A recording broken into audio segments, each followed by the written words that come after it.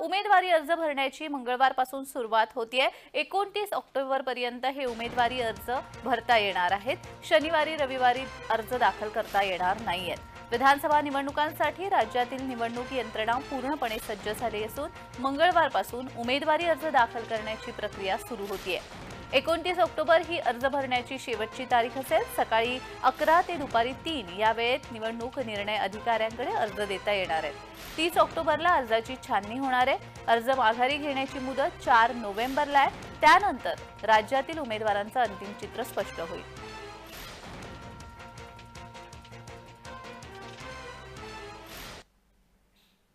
तर या संदर्भात अधिकची माहिती देण्यासाठी आमचे प्रतिनिधी शुभम उमाळे आपल्यासोबत जोडले गेलेले आहेत. शुभम आजपासून उमेदवारी अर्ज भरता येणार आहेत अधिकची माहिती.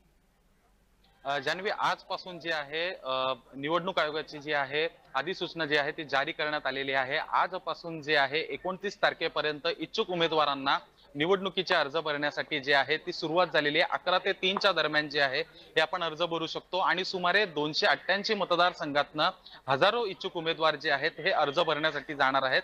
महाराष्ट्राचे तत्कालीन मुख्यमंत्री एकनाथ शिंदे देखील उद्या जे आहे ठाण्यातून त्यांचा अर्ज भरतील आणि ठाण्यातील उद्यापासून जे आहे सर्व रणधुमाळी जी आहे निवडणुकीची ही सुरू होणार आहे.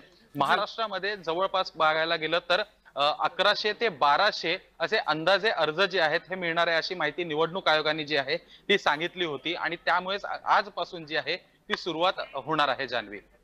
जी जी जी. धन्यवाद. शुभम तुम्ही दिलेल्या सविस्तर माहितीसाठी.